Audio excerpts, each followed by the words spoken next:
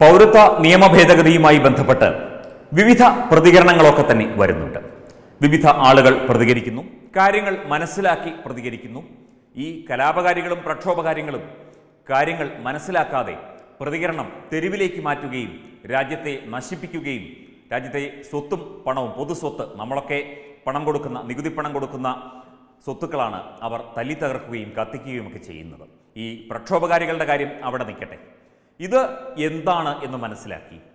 ഇതിന്റെ എല്ലാ വശങ്ങളും വിശദമായി പഠിച്ച് പ്രതികരിക്കുന്നവരെ നമുക്ക് നമ്മൾ പലയിടത്തും കാണുന്നുണ്ട്. സമൂഹ മാധ്യമങ്ങളിലൊക്കെ തന്നെ അതുപോലെ പൊതുവേദികളിലും ഒക്കെ തന്നെ കൃത്യമായി ഇതെന്താണെന്ന് മനസ്സിലാക്കുകയും ഇതെന്താണെന്ന് ജനങ്ങൾക്ക് പറഞ്ഞു കൊടുക്കുകയും ചെയ്യുന്നവരെ. അതിൽ ഒരാളാണ് ഡൽഹി ഇമാം. നമ്മൾ ആ വാർത്തയും നൽകിയിരുന്നു. ഡൽഹി ഇമാം. ഇന്ത്യയിലെ മുസ്ലിങ്ങൾക്ക് എതിരെയുള്ള നിയമമല്ല ഇത്. ഇതൊരു രാജ്യ പുരോഗതിക്കുള്ള നിയമമാണ്. രാജ്യത്തെ പുതിയൊരു ഇന്ത്യയെ കെട്ടിപ്പടുക്കുന്നതിനായുള്ള നിയമമാണ് എന്നുള്ള കാര്യം അവിടുത്തെ ജനങ്ങളോട് വിശദീകരിക്കുന്ന വീഡിയോയൊക്കെ തന്നെ വൈറലാവുകയും ചെയ്തിരുന്നു. അപ്പോൾ ഇത് കാര്യങ്ങൾ മനസ്സിലാക്കി വേണം പ്രതികരിക്കാൻ. തീർച്ചയായും കേരളത്തിലെ ചില സാമുദായിക സംഘടനകൾ ഇത് മനസ്സിലാക്കുന്നു. അവർ ഇതുമായി ബന്ധപ്പെട്ട് പ്രതികരിക്കുന്നു. കൃത്യമായ അവലോകനം കൃത്യമായ പ്രതികരണം. ഇപ്പോൾ എസ് എൻ ഡി പി അതായത് Sree Narayana Dharma Paripalana Yogam assistant secretary Shri P T Manmadhan. അദ്ദേഹം വളരെ കാര്യമായി തന്നെ സാമുദായിക പ്രവർത്തനം നടത്തുന്നയാളാണ് സാമൂഹ്യ പ്രവർത്തകനാണ്. അതുപോലെ തന്നെ സാമൂഹ്യ വിഷയങ്ങളിലൊക്കെ തന്നെ തന്റെ നിലപാട് വ്യക്തമായി തന്നെ പറയുന്ന ആളുമാണ്. നമുക്ക് അദ്ദേഹത്തിന്റെ പ്രതികരണം ഒന്ന് കേൾക്കാം. ഇവിടെ നിങ്ങളൊരു കാര്യം മനസ്സിലാക്കണം. അമിത്ഷാ അവതരിപ്പിച്ചിട്ടുള്ള ബില്ലിലെ പ്രധാനപ്പെട്ട കാര്യം എന്താ പല ആളുകൾക്കും അറിയില്ല. അവിടെ പുറത്തുനിന്ന് വരുന്ന ആളുകളിലെ മുസ്ലിങ്ങളെ ഇങ്ങോട്ട് കടത്തില്ല. ഈ പൗരത്വം കൊടുക്കില്ല എന്ന് പറയുമ്പോൾ അതിന്റെ കാരണം നമ്മുടെ ചെറുപ്പക്കാർ പോലും മനസ്സിലാക്കിയിട്ടില്ല. ഇപ്പൊ ചാനൽ ചർച്ചയിലൊക്കെ ഇരുന്ന് കോൺഗ്രസ്സുകാരും കമ്മ്യൂണിസ്റ്റുകാരനും ഭയങ്കര വിമർശനമാണ്. പക്ഷേ നമ്മളൊരു കാര്യം മനസ്സിലാക്കണം. എന്താ അദ്ദേഹം പറഞ്ഞത്? ഇവിടെ കയറി വരുന്ന ആളുകളെല്ലാം ഇന്ത്യ മഹാരാജ്യം വിഭജിച്ചത് കോൺഗ്രസ് പാർട്ടിയാണ്.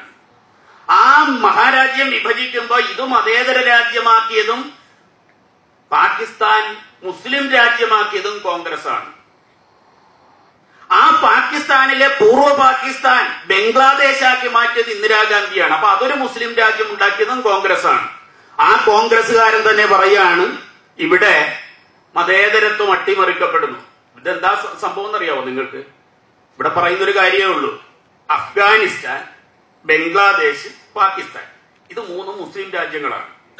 നമ്മുടെ സംസ്കാരവുമായിട്ട് ബന്ധപ്പെട്ടതാണ്. നമ്മുടെ സീതയും ഗാന്ധാരവും എന്നൊക്കെ പറയുന്നത് അഫ്ഗാനിസ്ഥാനിലാണ്. രാമായണത്തിൽ പറയുന്ന സ്ഥലമെല്ലാം പ്രധാനപ്പെട്ട പോയിന്റുകളെല്ലാം അഫ്ഗാനിസ്ഥാനിലാണ്. ഈ മൂന്ന് മുസ്ലിം രാജ്യങ്ങൾ ഉണ്ടായി ആ മുസ്ലിം രാജ്യങ്ങൾ ഇസ്ലാമിക രാജ്യങ്ങളാണ്. ഇസ്ലാമിക രാജ്യങ്ങളിൽ നിന്ന് ഇന്ത്യയിലേക്ക് കുടിവേറി വരുന്ന മുസ്ലിങ്ങൾക്ക് ഇവിടെ എന്തിനാ ഭയം കൊടുക്കണം? ഇവിടുത്തെ പ്രശ്നം അതാണ്. ഈ മൂന്ന് രാജ്യങ്ങളിലെ മതന്യൂനപക്ഷം എന്ന് പറയുന്നത് ഹിന്ദുവും സിഖും ജൈനനും പാഴ്സിയാണ്.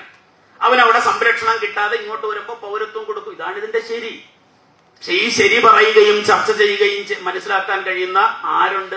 കമ്മ്യൂണിസ്റ്റും കോൺഗ്രസും ലീഗും എല്ലാം ജനങ്ങളുടെ ഇടയിൽ അസ്വസ്ഥതകൾ ഉണ്ടാക്കുന്ന രൂപത്തിൽ കാലഘട്ടത്തിന്റെ അനിവാര്യമായ തീരുമാനങ്ങളെ അട്ടിമറിക്കാനുള്ള ബോധപൂർവമായ ശ്രമങ്ങൾ നടത്തിക്കൊണ്ടിരിക്കുന്നു. ഇസ്ലാമിക രാജ്യങ്ങളിൽ നിന്ന് വരുന്ന മുസ്ലിങ്ങൾക്ക് നമ്മൾ പൗരത്വം കൊടുക്കുമെന്ന് പറഞ്ഞാൽ ബംഗ്ലാദേശിലെ പാകിസ്ഥാനെ അഫ്ഗാനിസ്ഥാനിലെ മുഴുവൻ മുസ്ലിങ്ങൾ ഇങ്ങോട്ട് വരില്ലേ?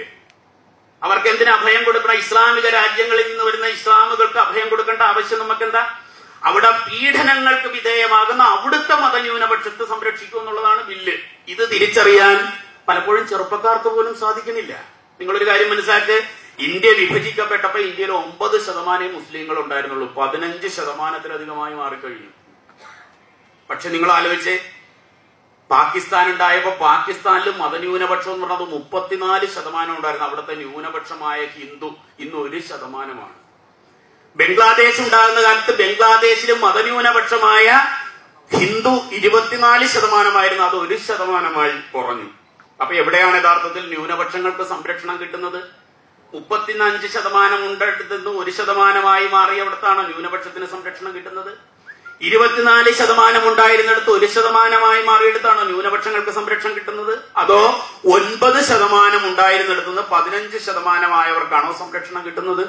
ന്യൂനപക്ഷ സംരക്ഷണം ഇന്ത്യയിലെ പോലെ ലോകത്തൊരു രാജ്യത്തും കിട്ടുന്നില്ല. പക്ഷേ വിടക്കാക്കി തനിക്കാക്കുക ഭിന്നിപ്പിച്ച് ഭരിക്കാനും മനുഷ്യ മനസ്സുകളിൽ വർഗീയത ഉണർത്തുന്നതിന് വേണ്ടി ഇതിനെ തെറ്റിദ്ധരിപ്പിക്കുന്ന രൂപത്തിലുള്ള വർത്തമാനം പാർലമെന്റിൽ കോൺഗ്രസ് പാർട്ടിയും കമ്മ്യൂണിസ്റ്റ് പാർട്ടിയും ഒരുപോലെ നടത്തിക്കൊണ്ടിരിക്കണം ഞാനിത് രാഷ്ട്രീയം പറയാൻ കാരണം നമ്മളെല്ലാം പ്രത്യേകിച്ച് മലബാറിലെ യുവജനങ്ങൾ ഏതെങ്കിലും രാഷ്ട്രീയ പാർട്ടിയിൽ പ്രവർത്തിക്കുന്നവരാണ്.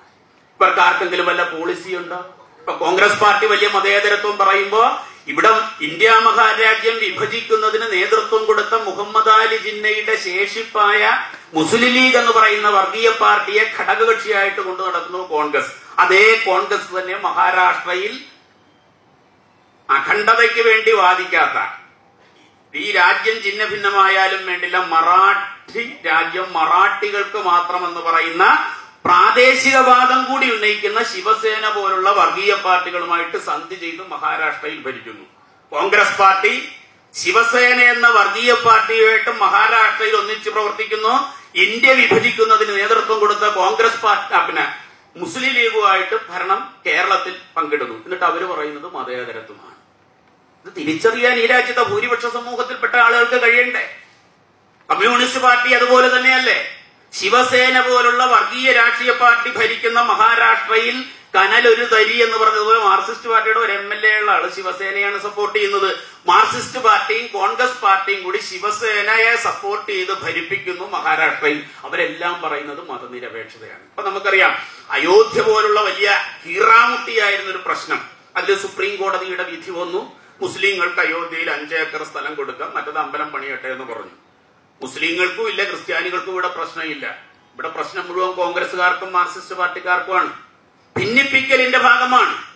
ന്യൂനപക്ഷങ്ങളെ പ്രീതിപ്പെടുത്തുന്നതിന്റെ ഭാഗമാണ്. ആ സുപ്രീം കോടതി വിധിക്കെതിരായിട്ട് ഈ രാജ്യത്ത് ഇവിടെ ആരെങ്കിലും എന്തെങ്കിലും പറഞ്ഞോ? നമ്മൾ എസ് എൻ ഡി പിക്കാർ വല്ലതും പറഞ്ഞോ? പക്ഷേ മാർക്സിസ്റ്റ് പാർട്ടിയുടെ എം എൽ എ ആയിട്ടുള്ള എം സ്വരാജ് ഉടൻ ഫേസ്ബുക്കിൽ പോസ്റ്റ് ഇട്ടു. വർത്തമാനകാല ഇന്ത്യയിൽ മറിച്ചൊരു വിധി ഉണ്ടാകുമെന്ന് നിഷ്കളങ്കരെ നിങ്ങൾ ആരെങ്കിലും പ്രതീക്ഷിച്ചിരുന്നുവോ? ആരാണ് കുത്തിത്തിരിപ്പുണ്ടാക്കുന്നത്? സമുദായ സംഘടനകളാണോ? മതസംഘടനകളാണോ? അല്ല. രാഷ്ട്രീയ സംഘടനകൾ ഈ രാജ്യത്ത് വോട്ട് മാത്രം ലക്ഷ്യമാക്കിക്കൊണ്ട് ജനമനസ്സുകളിൽ വിദ്വേഷത്തിന്റെ കനലുണ്ടാക്കുന്നതിന് വേണ്ടിയിട്ടുള്ള ബോധപൂർവമായ ശ്രമങ്ങൾ നടന്നുകൊണ്ടിരിക്കുന്നു. അങ്ങനെ രാജ്യം മുഴുവൻ കലാപകലുഷിതമായ സാഹചര്യത്തിലേക്ക് ആദർശമില്ലാതെ പോളിസി ഇല്ലാതെ ഈ രാജ്യത്തെ രാഷ്ട്രീയ പ്രസ്ഥാനങ്ങൾ യുവജനങ്ങളെ കൈകാര്യം ചെയ്തുകൊണ്ടിരിക്കുമ്പോൾ കേരളത്തിൽ അങ്ങനെയുള്ള ആ ആദർശം നശിച്ച രാഷ്ട്രീയ പ്രസ്ഥാനത്തിന് വേണ്ടി വിടുപണി ചെയ്യുന്നവരായി ഏറ്റവും കൂടുതൽ ഈഴവതീയ സമുദായത്തിൽപ്പെട്ട യുവജനങ്ങൾ മാറിക്കൊണ്ടിരിക്കുന്നു. സ്വത്വബോധമില്ലാത്തത് കൊണ്ട് ഇതാണ് അദ്ദേഹം പറഞ്ഞത്. വ്യക്തമായി ഉത്തരം നൽകിയിരിക്കുന്നു. വ്യക്തമായി വിശദീകരണം നൽകിയിരിക്കുന്നു. ഇതിൽ കൂടുതൽ ഈ ദേശീയ പൗരത്വ നിയമവുമായി ബന്ധപ്പെട്ട് വേറെന്ത് വിശദീകരണമാണ് വേണ്ടത്? അപ്പോൾ ജനങ്ങളെ തമ്മിലടുപ്പിക്കുന്ന ആഹ്വാനമല്ല ചെയ്യേണ്ടത്. സാമു- സാമുദായിക സംഘടനകൾക്ക് ആ ഒരു ഉത്തരവാദിത്വം കൂടിയുണ്ട്. കാര്യങ്ങൾ മനസ്സിലാക്കി സമുദായത്തിൽപ്പെട്ടവർക്കും മറ്റ് പൊതുജനങ്ങൾക്കും ഈ കാര്യങ്ങൾ വിശദീകരിച്ചു കൊടുക്കേണ്ട ധാർമ്മിക ഉത്തരവാദിത്വം കൂടി സാമുദായിക സംഘടനകൾക്കും നേതാക്കൾക്കുമുണ്ട്. അതിന് ഒരു ഉദാഹരണമാണ് ഇപ്പോൾ ശ്രീ പി ടി മന്മഥൻ ഈ നടത്തിയ ഈ സി എ യുമായി ബന്ധപ്പെട്ട് അദ്ദേഹത്തിന്റെ ഈ വിശദീകരണം web desk Tatwamayi news Thank you.